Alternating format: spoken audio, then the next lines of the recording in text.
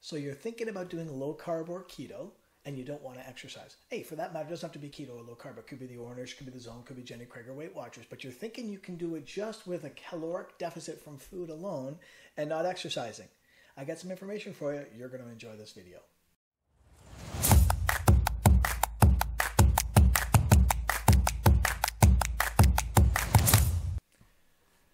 Hey team, it's Mike here at After 40 Fitness and after40fitness.ca.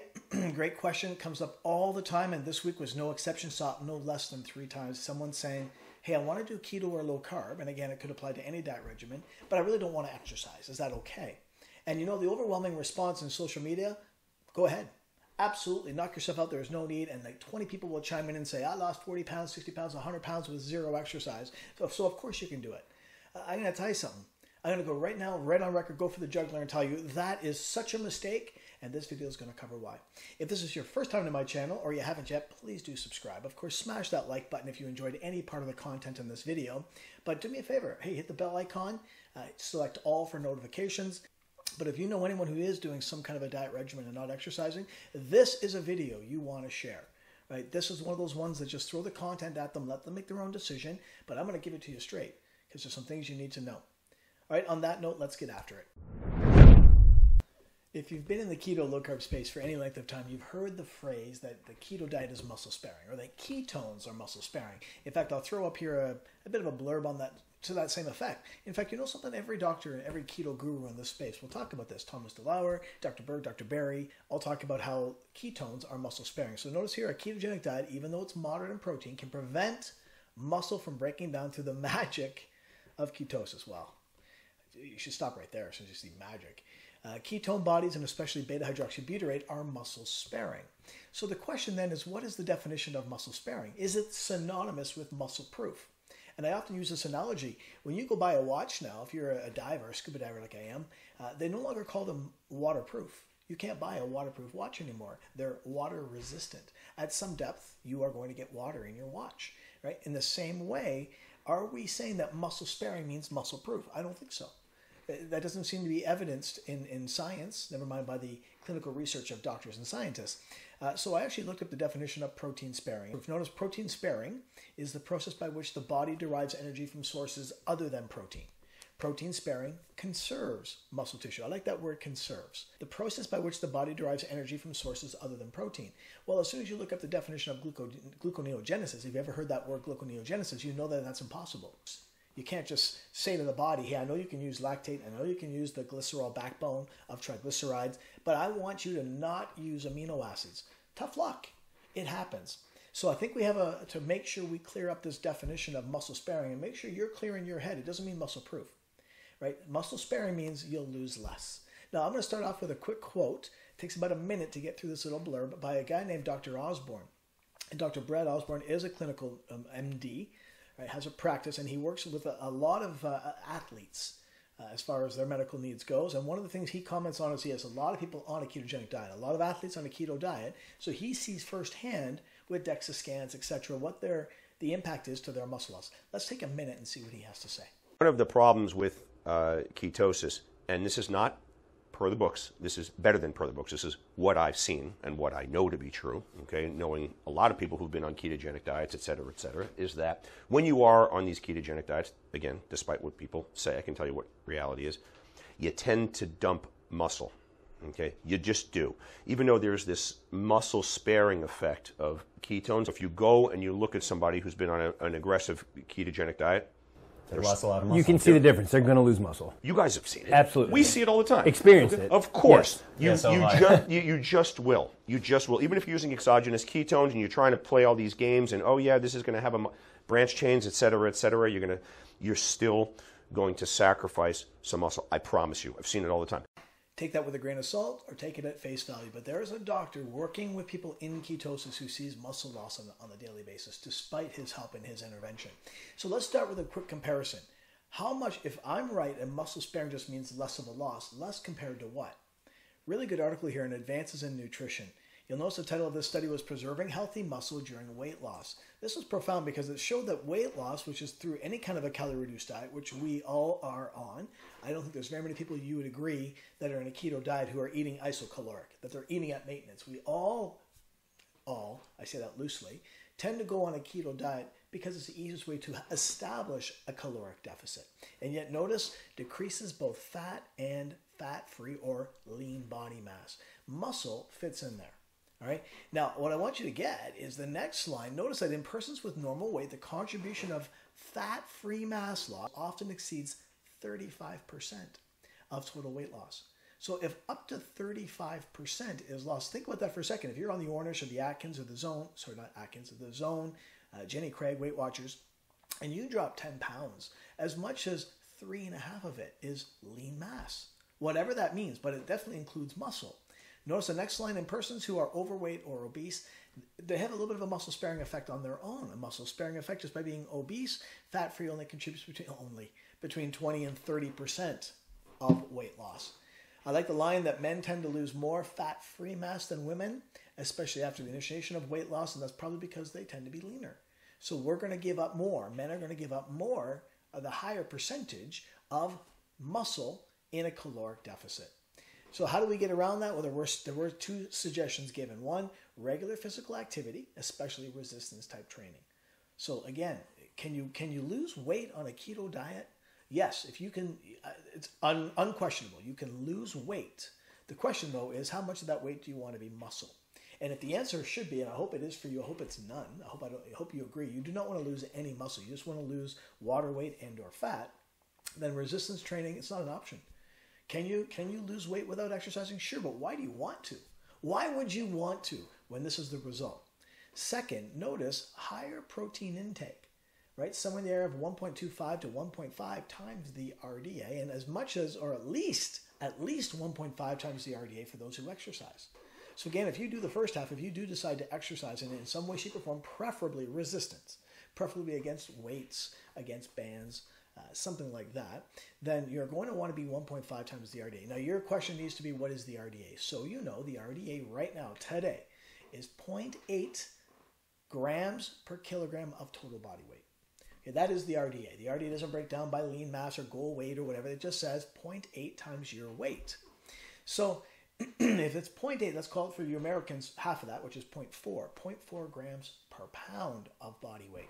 Okay, virtually nothing. This is where the 1.5 kicks in. If 1.5 is true, then you Americans should be at a minimum of 0.6 grams per pound, and us Canadians should be at least at 1.2 grams per, per kilogram. I want to rifle really quickly through two studies just to demonstrate the kind of muscle loss that can happen on a keto diet. This one here is a three month ketogenic study on body composition, blood parameters, and performance metrics, and these were in trained CrossFitters. In this study, we sought to characterize the effects of 12 weeks of a ketogenic diet on body composition in participants who trained recreationally. You'll notice that they were divided into two groups, right? Into a control group and into a ketogenic diet for these 12 weeks. The DEXA scan, they use DEXAs here to, to look at individual muscle segments, and you'll notice that DEXA dual leg lean mass decreased in the keto group by 1.4%. However, their vastus lateralis the vastus lateralis is that big outer sweeping, I'll show a picture of it here uh, so you can see what I mean. It's the biggest part of our quadriceps, our biggest muscle group. And it decreased in the ketogenic group over three months, training eh, over three months by 8%. Whew, 8%. The second study I'm going to refer to is here in the Journal of Clinical Investigation. And it was the composition of weight loss during short term weight reduction. In fact, they used 10 day periods just to see what, if they could notice what would happen in 10 day periods over ketogenic and non ketogenic diets. And this example here, what they do is they broke down the losses by percentages. And you'll notice that composition of the weight lost during the ketogenic diet was 61% water, 35% fat, and 4% protein. So now here we go back to the, the definition of muscle sparing. Eh? If most diets for obese people are losing between 20 and 30% of uh, lean mass in their loss, and as much as 35% in the first study we quoted, then you can see how protein, only dropping 4% of your body weight in protein, uh, is very, very muscle sparing. That's the definition of muscle sparing. It doesn't say 0%, so it's not muscle proof. Right? I think I've driven that, that point home. So I think you're probably convinced, right? You now understand there's a need to add some form of resistance training or conditioning exercises to your repertoire. Right? It's got to be there. You cannot just want to create a caloric deficit just from food, just from calories. Right now, let me let's face it. other than at least stopping the muscle loss, at least getting it down to zero, and potentially even adding a couple of ounces, right? adding some more mitochondria, adding some more powerhouses in your muscle, some more cells that are going to burn, right? increase your metabolism, all bonuses of adding a couple of ounces, maybe even a pound a year of excess muscle. That's awesome, right? Congrats if that's your decision. But what about the other benefits? Let me rifle through three studies in a hurry to show you some of the other benefits, especially if you're older right? Over 40 or over 50 like I am, and or a woman. These studies, you're going to love them. They're very intriguing about the other benefits that come from having a little bit extra muscle and or a little bit extra strength. I'm going to draw your attention to this study. It's called a two-year supervised resistance training and how it prevented diabetes incidence in people with pre-diabetes. Right? A great controlled study. You're going to like this one. The purpose of the study is to explore the long-term effects of aerobic training, AT, resistance training, RT, and the combination of the two on the prevention of type 2 diabetic incidence in patients with prediabetes, so insulin resistance. So, so these, these patients, these women were all overweight and or obese with insulin resistance, aka prediabetes, and now we're going to see the impact of resistance training, uh, aerobic training, and a combination of the two. Oh, this is so good. You're going to love it. Supervised exercise programs, including those three modalities, were completed for 60 minutes per day, three times a week for the course of 24 months. What an awesome study. I love this. A, a, total of 137 subjects with a mean age of 59. Get that. These are not spring chickens. And also, twice as many women as men made up the 137 that completed the two year analysis.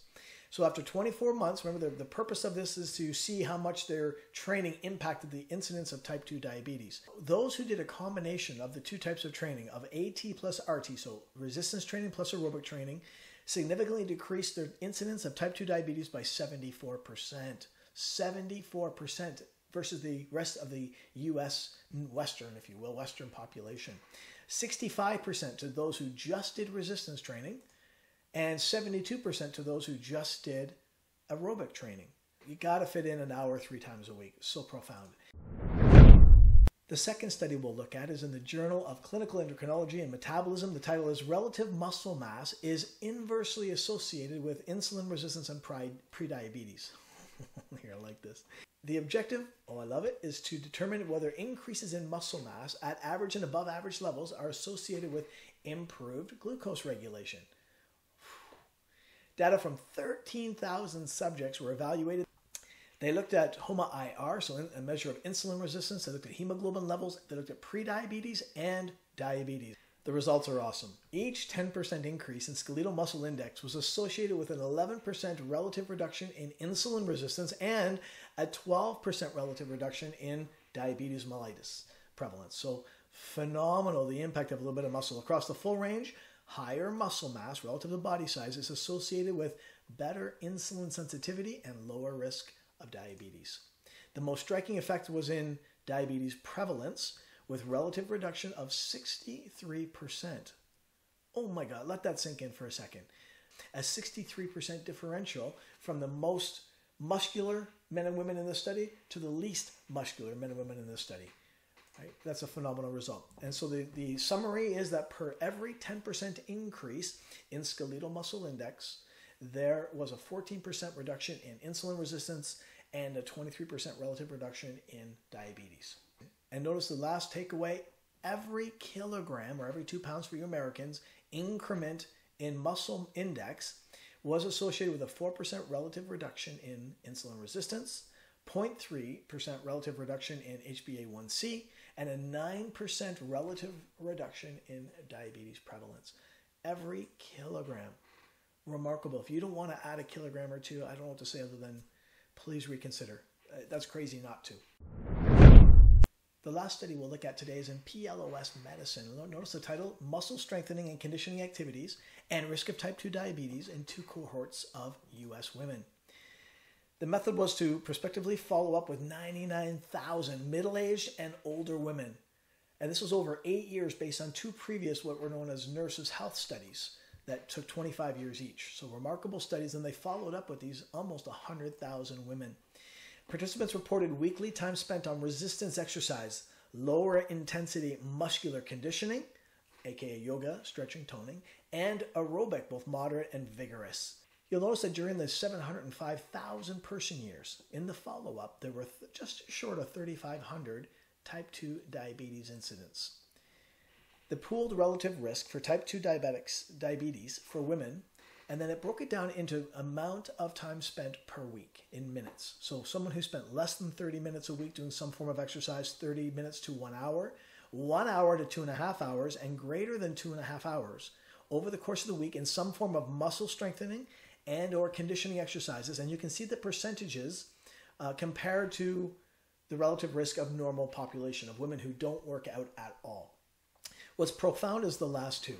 From one hour a week to two and a half hours it was a, a 0.75% so a 25% decrease in diabetes versus those women uh, who don't work out who didn't work out during the entire time period of this study. And greater than two and a half hours it dropped further to 60% of the risk. In other words, a 40% reduction in risk of type 2 diabetes. Okay, the methods of findings women who engage in at least two and a half hours of aerobic uh, and at least 60 minutes of muscle strengthening exercise had substantial risk reduction compared to inactive women.